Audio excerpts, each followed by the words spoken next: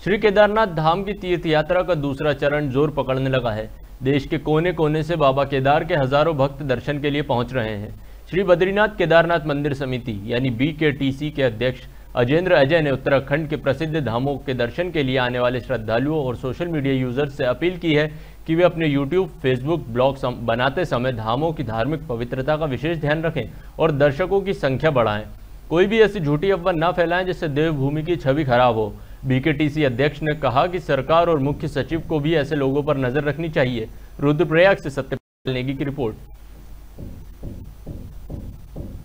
हमारे धामों में कई बार आप समझ रहे हैं कि कतिपय लोग केवल यूट्यूब और ब्लॉगर और इस तरीके के लोग आ रहे हैं रील्स बनाने के लिए और वो